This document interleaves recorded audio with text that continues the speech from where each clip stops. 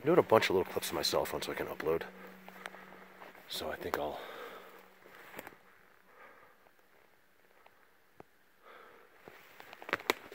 Just upload a bunch, you know, a bunch on Patreon instead of just doing one like five minute clip and you guys are done until we can figure out how to set it up the way you guys want.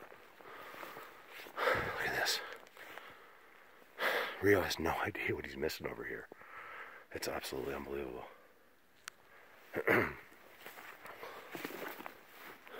it's unbelievable.